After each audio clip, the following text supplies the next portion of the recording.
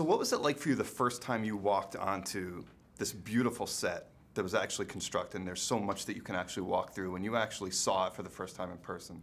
It was genuinely breathtaking. Yeah. Because it had been, and it was the most fully imagined, fully realized set I'd ever been on. You're so often, uh, you work in a, you work in, you work in an environment where, as an actor, your job is to respond emotionally to something imagined. Right. And in this case, we were responding to something real. Is that frustrating for you as an actor to be on a movie when there's nothing there? I know some some of your colleagues, uh, Idris Elba was one that said he had some issues on Marvel movies where there's Yeah. just so much green screen. Does that ever really pose a problem for you, or is it just sort of flexing a different acting muscle? I don't know. Um, um, maybe Idris is having a bad day. I, mean, he's fine. Like, uh, I, I, I, to me, it's like it's um, it's like being in the theater. You Yeah. know, the theater is is an imaginary space. You have to imagine you're somewhere else. You have to imagine your environment. So it's actually, so uh, green screen acting is kind of just pure acting. Yeah. The whole point about acting is that you're creating real responses to imagined situations. Uh, we as fans, we, we kind of know Guillermo from his larger-than-life persona when he's at Comic-Con or at these events like this. What's he like though on set? What's it like to actually kind of work with him over an, an extended shoot? Does he maintain that same level of enthusiasm on day 50? He does actually. He has the most incredible stamina, uh, and the the enthusiasm you speak of is very genuine Yeah. um, and and infectious. He, he has an, he has a very, um, I think, a beautiful love of cinema, and it's one he shares. But also, as I've said a couple of times, the thing that I think is less remarked about him is his sensitivity.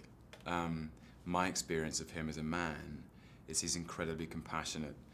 Um, he's uh, incredibly understanding of all the different facets of human nature, and he brings that to bear when directing actors. You, you seem to get cast a lot, not all the time, but a lot as, as sort of darker characters. But you seem like you're a very sort of effusive, friendly, personable guy. You, what do you think it is that directors see in you? Do you have like a hidden dark side? Do you hate puppies and Beyonce and? No, I love Beyonce. Okay, good. Uh, well, that would be a puppies problem. too. Yeah, yeah. Um, I was just talking about Beyonce this morning, in fact. Um, no, it's interesting. You know, I actually had a. I remembered recently uh, when I first became an actor. My, my initial casting was was uh, was a sort of um, was was playing kind of nice, friendly, nice, friendly people in nice, friendly things, and. Uh, after a while, it just became quite. It felt. It felt like it was um, all becoming a bit sort of the same, and I wanted to shake it up a bit. And I remember asking my, calling my agent, saying, "Is there anything, you know, that's a bit darker that people maybe don't think of me for?" And now, weirdly, it's, become the reverse, and uh, I'm ready for my romantic comedy. Um, Um, we'll see.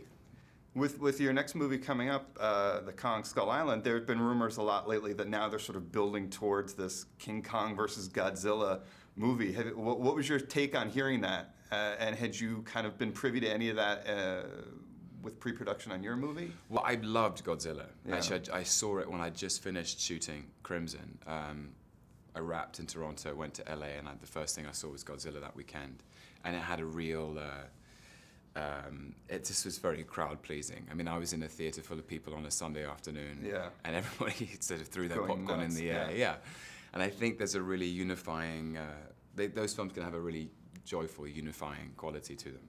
Um, and then uh, Thomas Tull and Jon Jashni at Legendary pitched um, Skull Island to me, and it just, honestly, having spent a year shooting Crimson Peak, shooting I Saw the Light as Hank Williams, Yeah. shooting High Rise, some very dark material, I felt so ready for um, for a heroic character and an action adventure. Um, and so that was what appealed about that. I, I, I, I'm not privy to conversations about, about building a universe with Kong and Godzilla, but it's exciting, my God, yeah.